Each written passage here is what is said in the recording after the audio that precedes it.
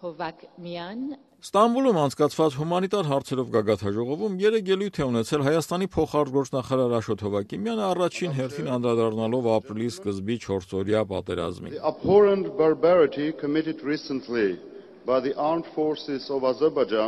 including intentional Ադրբեջանի զինված ուժերի կողմից վերջերս իրականացված զարհուրելի բարբարոսությունները ներառյալ քաղաքացիական անձանց, մասնավորապես կանանց, երեխաների, նաև տարեցների, քաղաքացիական օբյեկտների, դպրոցների, մանկապարտեզների վրա հարձակումները, սպանությունները, գլխատումները, խոշտանգումները, մարմինների անդամահատումները անհամատեղելի են քաղաքակիրթ աշխարհի տարրական նորմերի հետ։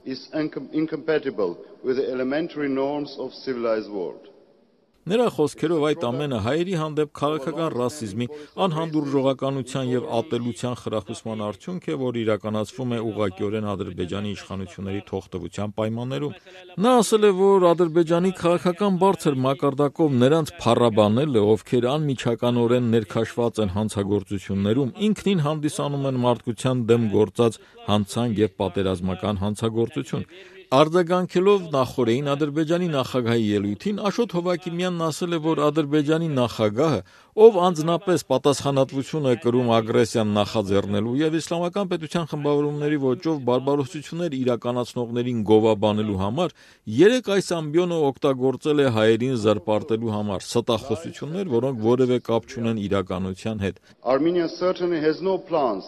of creating a nuclear bomb, and Armenian forces have never used chemical weapons. Հայաստանը միջուկային զենք ստեղծելու որևէ պլան չունի եւ հայկական զորքերը քիմիական զենք երբեք չեն կիրառել։ Նա հավելել է, թե Ադրբեջանի նախագահը հաճույք է ստանում մեջբերելով Հայաստանի նախկին պաշտոնյայի խոսքերը, բայց ավելի լավ կլինի, եթե մեջբերի իր նախորդներից մեկին, ով սեփական ժողովրդին խոջալույում կոտորելու համար մեղադրել էր Ադրբեջանի այն ժամանակվա քաղաքական ղեկավարությանը։ Աշոտ Հովակիմյանը անդրադարձել է նաև Սիրիայի փախստականների խնդրին, նշելով, որ Հայաստանը առաջիններից մեկն էր, որ խստորեն դատապարտեց իսլամական պետության խմբավորումների եւ ահաբեկչական մյուս խմբավորումների բարբարոսական գործողությունները ընդդեմ էթնիկ եւ կրոնական փոքրամասնությունների, ներառյալ ընդդեմ սիրիահայերի, Armenia received about 20,000 refugees from Syria, thus becoming